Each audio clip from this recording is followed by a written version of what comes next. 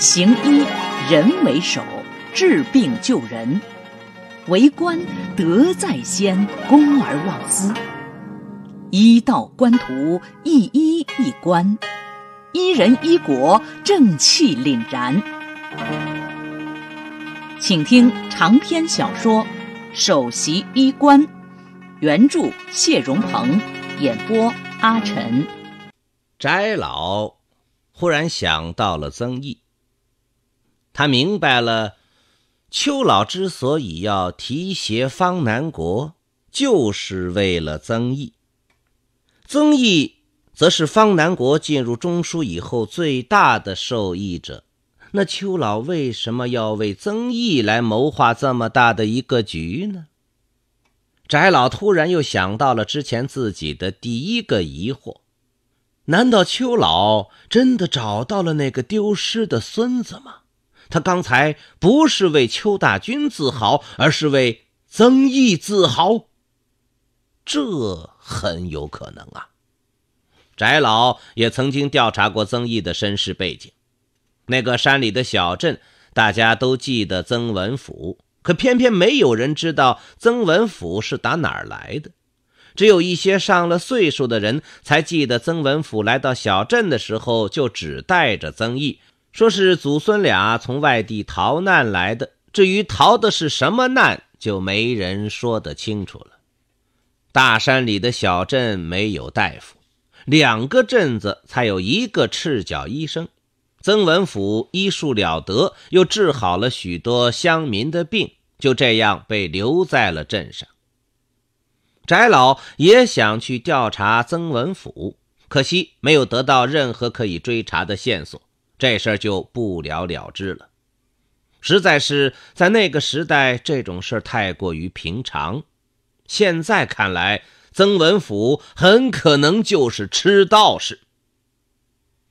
翟老想到这儿，认真的答道：“嗯，知春省的那位确实很有水平。”翟老不得不重新修正自己的说法：如果邱老愿意为方南国出头呐喊，自己当然会附和，不为别的，以前没有为曾毅筹划的机会。现在有机会了，自己必须得帮上一把。邱老见翟老突然又改变了说法，心里有短暂的一阵意外，不过随即笑着说：“哈哈，我们这是英雄所见略同啊。”翟老也哈哈笑道：“哈哈，也只有这一次。”他们两位这辈子几乎就没有意见完全相同的时候。笑过之后，两个人又把视线重新投向那池锦鲤。水池很小，鱼儿只是在那里来回的摆动，可他们俩看的却很有滋味。这时候，翟老突然问道：“焦树江啊，那个岛的事你怎么看？”不过他没等邱老回答，就接着说：“前段时间。”酸辣汤同志来看我，我也问了他同样的问题，你猜他是怎么回答的？话音刚落，邱老的目光就亮了起来。翟老一看，心里就有了判断。就听邱老问道：“他怎么说？”能看得出他对这个话题很感兴趣。关于那个岛的事情，邱老比任何人都要看得透彻。该从何处入手？邱老心里也有了定见，只是这件事操作起来很复杂，不是邱老能够做主的。邱老认为，要解决岛的事情，前提是必须有一个强大而完善的领土领海法律，这样谁来操作，谁来负责，也就清楚无误了。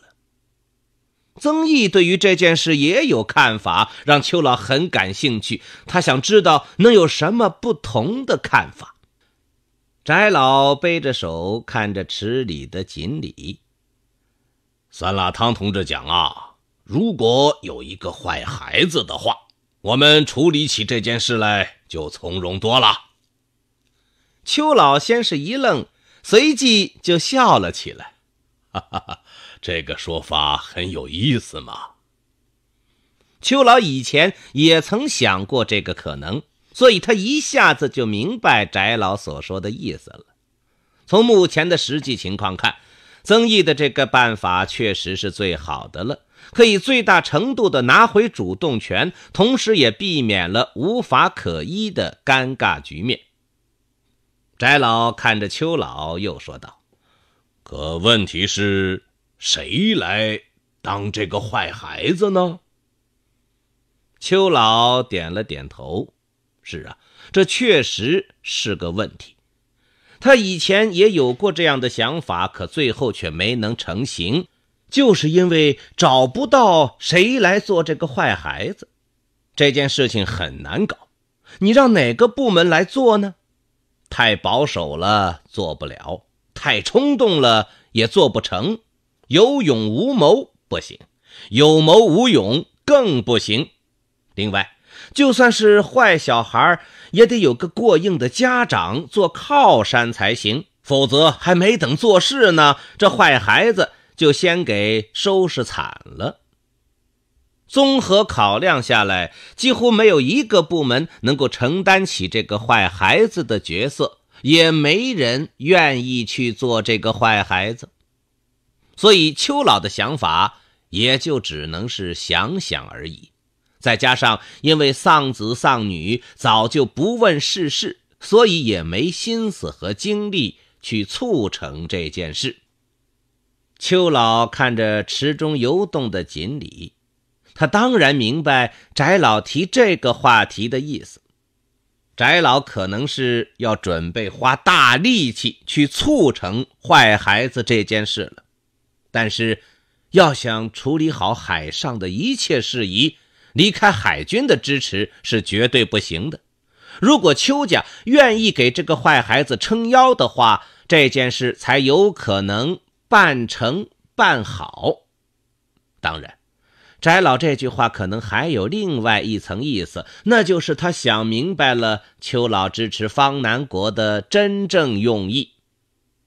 邱老对此并不意外，因为他今天的话就是有意对翟老讲的。他提的是方南国，而翟老现在用曾毅来回应，这说明翟老已经领会到了话里的隐晦之意。邱老没有选择直接扶持曾毅，却选择了迂回路线，也说明他有不得已的苦衷。对于这一点，翟老也是深有体会。因为在翟浩辉生病的那段时间里，翟家也是人心浮动。邱老呵呵一笑，侧身看着翟老，看来石匠你说错了，我们所见略同的事，并非只有一件。翟老也是爽声大笑，这就是达成一致了，有邱家支持。这个坏孩子才能真正的坏得起来。笑过之后，两位老人又把视线重新投向池中的锦鲤，不过心里却是各有想法。翟老虽然猜到了邱老失踪的孙子就是曾毅，但还是觉得这事儿有些离奇，也不清楚邱老到底是通过什么方式找到曾毅的。又是怎样得到确认的？不过，这世界真的是太小了。而邱老则想的是下一步对曾毅的安排。那天跟曾毅谈过以后，邱老便放弃了认下曾毅的想法。自己并不是没有亲生的孙子，只是现在还没有认祖归宗，缺少个仪式和表面上的名分而已。自己现在硬要认下曾毅，也不是不可能办到，但结果很可能就是断送了曾毅的前程。自己多了个孙子，可天下却要少一个曾毅这样的官员。思来想去，邱老就拿定了主意：自己能为曾毅做的，也是唯一能补偿曾毅的，就是给他铺好路，然后在背后。默默注视他的成长。能够在有生之年看着孙子一步步成长起来，这未尝不是另外一种天伦之乐呀。如果自己还能熬上个十多年，那个时候曾毅成了气候，或许还能再认回来。因为那个时候的曾毅对邱家的实力只有注意而没有损害，相信没人会反对邱家多这样一位人物。想到这儿，邱老就觉得自己剩下的时光有了大盼头，心里充满了力量。再说中华市，在授奖仪式之后，慢慢就传出了一个风声。说是常务副市长吴汉林即将会被调到省行政学院担任副院长，这个消息传的是有鼻子有眼的，就像亲眼目睹了吴汉林的任免书一样。可惜这消息始终没有得到正式的确认。不过，副市长杨明新的办公室比起以往却一下子热闹了许多。曾毅对于这些小道消息的态度一向是不予理睬，这事情该怎么做，该找哪位领导汇报，依旧是按部就班。时间过去一个月，关于吴汉林的小道消息还是没有得到证实，而大家所关注的重心也由市里的人事变化，慢慢转移到即将在京城召开的大会方面。毕竟这事的影响力更大，各种小道消息更是传得满天飞。曾毅这天在办公室忙完手头的事情，打算到街上走一走，一是检查创卫期间中华市公安局各治安区域的治安措施和创卫措施，二是去看看管网改造工程的实际施工状况。曾毅刚刚站起身子。正打算去取挂在衣帽架上的警帽，办公室的门就被人推开了，连个敲门的动作都没有。曾毅眉头微微一皱，准备回身去看看是哪个冒失鬼闯进来的。进来的不是别人，正是东江大少顾迪。一进门就说：“老曾，出事了，出大事了！”从他闯进来的情况看，确实是出大事了。不过，从顾迪那一脸兴奋的神色看，却完全不像是出大事的样子，倒像是有好事。曾毅摘下帽子，出什么事了？顾迪这个时候反倒不着急讲了。哦，你这是要出去啊？不好意思，不告而来，不叩而入，没打搅你的工作吧？曾毅苦笑着摇摇头：“你来都来了，闯也闯了，现在说这个还有什么用啊？”当下就说：“到底什么事？你就别卖关子了，要不然我可就走了。我这边还真有事呢。”顾迪哈哈一笑，转身把门关上，然后冲到曾毅办公桌前坐下。这次啊，真是出大事了。说完，顾迪看着曾毅，很奇怪地问道：“哎，你难道就没听到什么风声吗？”曾毅纳闷了，难道是吴汉林的任免下来了吗？他只好重新坐回办公椅上。我这里什么也没有听到啊。顾迪便压低了声音：“就在昨天，也就是这次中央工作会议的最后一天。所谓中央工作会议，就是在开大会之前召开的一次小范围会议，与会的都是中央首长级别的人物。这个会议的目的是为了沟通协商。”为即将召开的大会定下主基调，会期可长可短，长了有半个月，短了也就三五天。就听顾迪坐在那里感慨道：“只一天呐，就全部结束了。”曾毅沉眉问道：“你听谁说的？不会又是小道消息吧？”顾迪直摇头：“这种事儿我能随便乱说吗？现在外面都已经传疯了。前段时间那几个跳得很欢的。”这次都没有好结果，损失最大的应该就是庞家和龙家了，核心人员几乎都被调整掉了。说到这儿，顾迪看着曾毅，认真的说道：“你猜猜看，龙老二是什么下场？”曾毅摇了摇头，这哪是他能猜到的呀？顾迪却没有回答自己的问题，而是突然一拍大腿：“嗨，看我这脑子！老曾，恭喜你了！”曾毅又是诧异，这种高层任免跟自己八竿子都打不着啊，有什么喜的呢？顾迪看着曾毅，嘿嘿笑着：“哈哈，龙老二啊，据说要被调到党校去当什么副部级的校务委员，他这一倒霉，龙家可就没什么人物了。”别的人肯定也要跟他们撇清干系，你跟美心的事这次应该没有什么阻力了。曾毅心里顿时一动，屁股底下的办公椅子也跟着发出吱扭一声。是啊，龙老二一倒，龙家确实就没有什么人物了。龙海清是翟家的媳妇，所以几乎不参与龙家的事情，而龙清泉早已致贤。顾迪接着说：“老曾啊，你可得抓紧呐！”这么些年了，你不就在等这个机会吗？你要是找不到媒人，我老子可说了，他很愿意当这个媒人哦。再说了，老太太现在就跟龙清泉在小吴山做邻居呢，一句话的事儿嘛。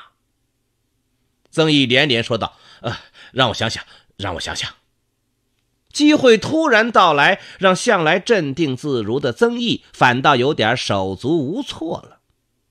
顾迪一拍桌子：“你还想什么？”老曾，你什么时候变得婆婆妈妈了？成不成？给一句话。顾迪很是着急，甚至比曾毅还要着急。他没有说谎，顾明夫确实很愿意当这个媒人。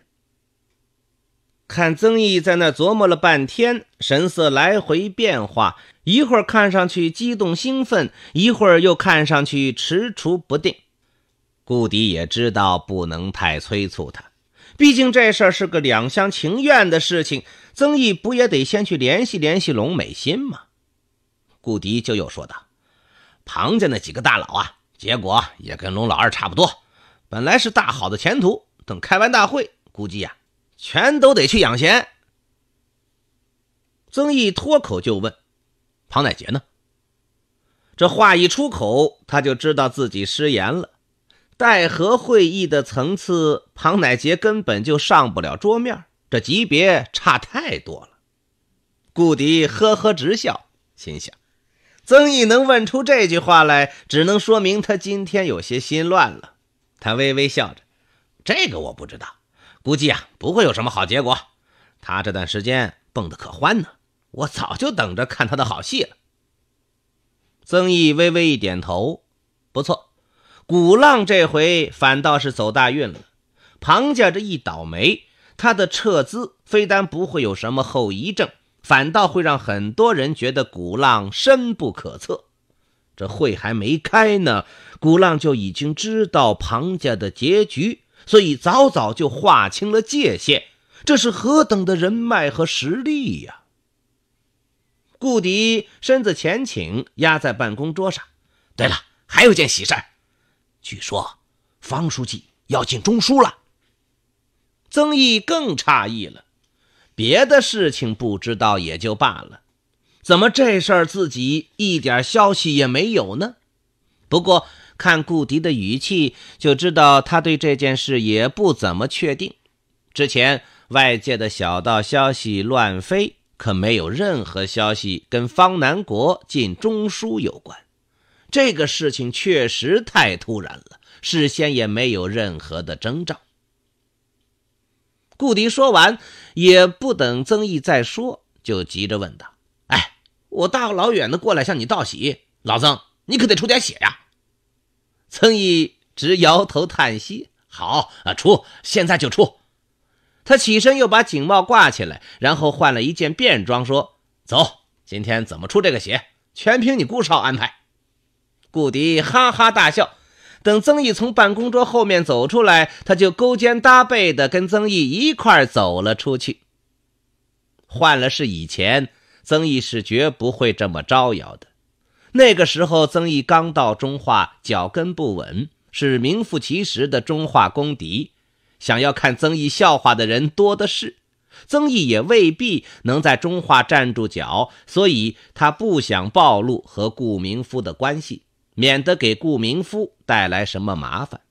现在曾毅这方面的顾虑就要少很多，因为他已经在中化市彻底站稳了脚。顾迪离开之后的几天，关于会议的细节传出了各种版本，每个版本都不一样，但都传的仿佛人人都在会议现场一般。只是关于会议的结果，每个版本却都出奇的一致。曾毅也是在这个时候再次听到了关于方南国要进中书的消息。如果这个消息是真的，那自然是好事一件；可如果这消息是有人故意放出来的，那对方南国就是件大大的坏事了。在下面基层换届的时候，也常常发生这种情况：有人当选的呼声很高，消息传的到处都是。可等到最后谜底揭开，却发现呼声最高的反而最容易失败，因为你是被人故意拿出来做众矢之的的。当所有竞争者都拿你当对手，不断进行阻挠时，那个躲在暗处的人反倒捷足先登了。为了稳妥起见，曾毅决定还是给方南国打个电话。晚上八点，他估计方南国吃过晚饭了，就把电话拨了过去。电话很快就接通，里面传来方南国的声音。他呵呵笑着说：“是曾毅啊，晚饭吃过没有？”方南国的声音听起来有些疲惫，但却很有力量。曾毅就说：“吃过了，方书记。最近我在东江这边都听到了不少关于您的消息。”方南国哦了一声：“啊，我刚刚从京城回来，就是在你打电话之前进的门。这件事基本定了。”曾毅眼睛一亮：“这么说，方书记真的要进中书了？”他立刻说：“方书记，恭喜您！”方南国在电话里呵呵笑了两声：“哈哈，位置越高，责任越大，有何可喜呀？”顿了一下。方南国又叮嘱道：“这件事我也就只对你一个人讲了，在没有盖棺定论之前，你先不要外传。”曾毅笑道：“我明白，方书记放心。就算曾毅不说，外面也已经传遍了。保不保密其实无关紧要，但能得到确认，确实很让曾毅高兴。”方南国并没有隐瞒曾毅的必要。因为这次他能够进入中书，全赖几位老同志联名推荐，而这几位老同志都和曾毅有着很深的交情，尤其是邱老。邱老很多年不问世事，这么多年也从来没有提过谁的名，这次联名的老首长里就有邱老，自然是分量极重。这次去京城。方南国就是挨个去拜访这几位老首长的，虽然老首长们都没有讲什么，但方南国认定是曾毅暗中帮自己出了力、铺了路，否则这个机会怎么也轮不到自己的，因为自己跟这几位老首长之间甚至都没有任何交集，又怎么会突然被老首长们关注到了呢？方南国又嘱咐道。最近这段时间，我可能会比较忙，曾毅啊，你就不必专门过来了。他知道曾毅得知消息必定会亲自上门来恭贺一声，所以特意嘱咐了一句。曾毅确实有这个打算，听了方南国的嘱咐，就只好作罢。那好，我就不过去给您添乱了。方南国又说道：“你呢，也要有个心理准备，可能过段时间。”我要对你的工作进行重新安排。曾毅点头道：“好，我知道了。”方南国进入中枢，自然要把自己的人都安排部署一番，这也是无可厚非的事情。一个好汉三个帮，要是没有得力的助手，你什么事就都得亲力亲为，那还能干成什么大事情啊？方南国也就不再多说。我刚进门，还没吃饭，就不和你多说了，挂了吧。挂了电话，曾毅也在琢磨这事儿。方南国这次后来居上，直接进入中枢，这多多少少出乎曾毅的预料。这倒不是说方南国没这个资格进入中枢，只是那些对手太强劲了，方南国并没有任何的优势。思来想去，曾毅只能把这其中的原因归结于那些人的躁动，这才让上面反倒更加看重方南国身上的务实特质。长篇小说《首席医官》，今天就为您播送到这里。明天同一时间，请继续收听。